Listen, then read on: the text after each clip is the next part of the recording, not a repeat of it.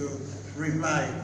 Um, it's uh, really a pleasure to be here to inaugurate uh, the 26th edition of the film festival. Partially also because uh, I personally come from uh, the city in Europe that is Venice that uh, has started film festivals. I don't know if you know, in the 1930s, the first uh, film festival in Europe. So I'm particularly happy that we have a European Film Festival here in Nairobi. This year's uh, festival has been put together by nearly 20 different European diplomatic missions and cultural institutes in Nairobi.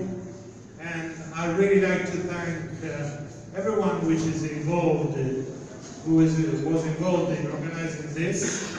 So they deserve an applause, please. Let's applaud them.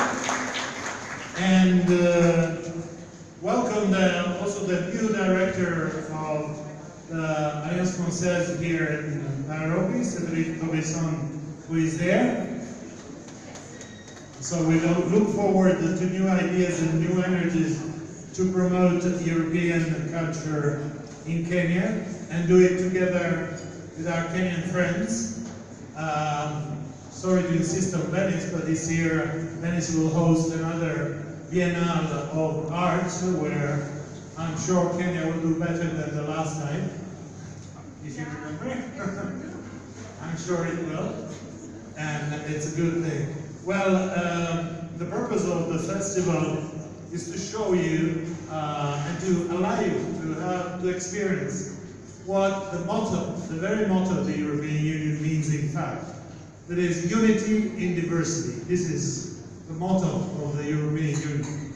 But unity in diversity means that we have uh, so deeply different cultural identities, uh, sometimes even be, uh, within our own nations. And my country, Italy, is a, a case in point where one city 20 kilometers away from another has a different uh, culture uh, in so many senses.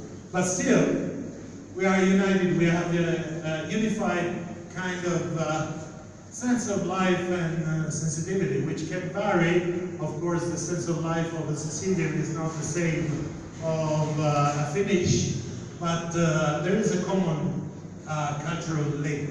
And this is a unique opportunity for all of you to spot what is linked between all these movies uh, from on different islands, from different cultures, with different landscapes, will uh, transmit to you. So my hope is you will really enjoy it and uh, applaud uh, this opportunity. And thanks again to all that organized it. I think we should have also someone, perhaps from the German embassy. Is that right? Huh?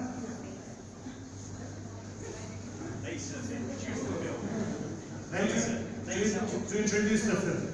Okay, excellent. So, shall we go for the movie? Thank you. Thank you very much. Thank you so much. So now your drinks as you proceed towards the auditorium. We'll have a speech from the German representative inside the auditorium just before the film, which is starting to screen at 7.30. So as you have your drinks, please proceed towards the auditorium.